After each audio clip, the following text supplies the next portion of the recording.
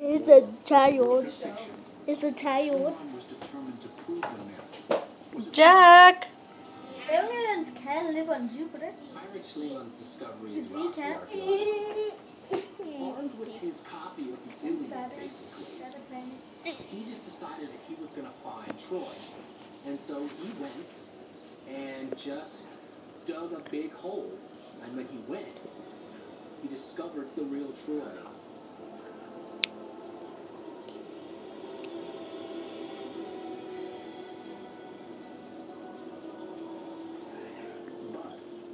Homer's story of Troy was true, what would it say about other Greek stories and myths?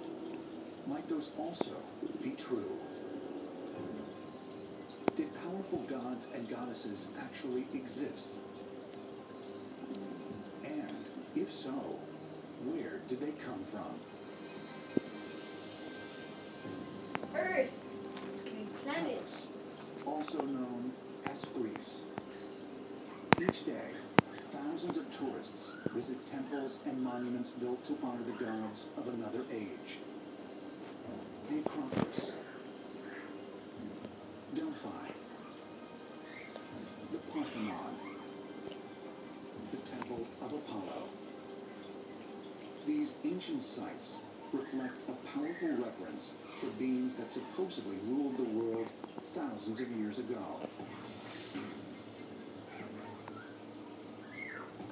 When you look at many of the mythologies around the world, they have these stories of gods coming down from the sky.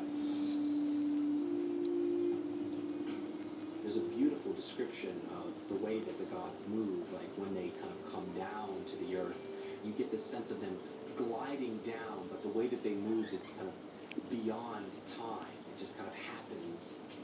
If the ancient Greeks invented the stories of gods as a primitive attempt to explain their universe, how can we account for similar deities found in widely different regions and cultures around the globe? Wait.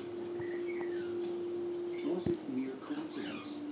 Or was there a common origin for these gods, who supposedly traveled to Earth from the skies? The